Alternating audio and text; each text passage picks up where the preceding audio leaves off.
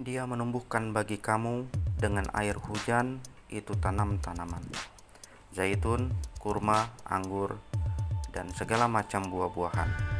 Sesungguhnya pada yang demikian itu benar-benar ada tanda kekuasaan Allah bagi kaum yang memikirkan.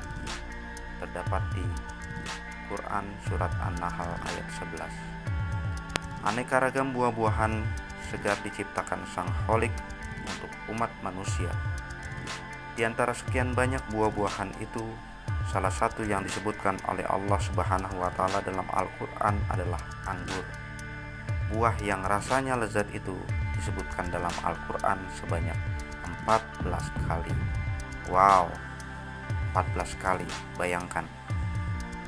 Ini menunjukkan bahwa betapa banyak nikmat yang Allah berikan dan sediakan untuk hambanya baik ketika masih di dunia maupun kelak nanti di kehidupan abadi. Wallahu alam bisawab.